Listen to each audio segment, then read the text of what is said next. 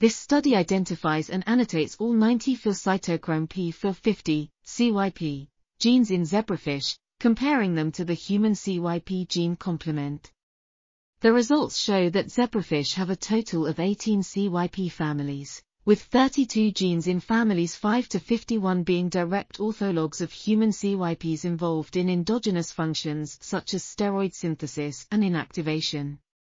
In contrast, zebrafish have 47 CYP2 genes compared to 16 in humans, with only two recognized as orthologous based on sequence. Transcript profiling revealed that the majority of zebrafish CYP genes are expressed in embryos, with waves of expression over the course of development. The study provides a foundation for using zebrafish as a model in toxicological, pharmacological, and chemical disease research. This article was authored by Parente Thiago, Zanette Juliano, Kubota Akira, and others. We are RTCL.TV, links in the description below.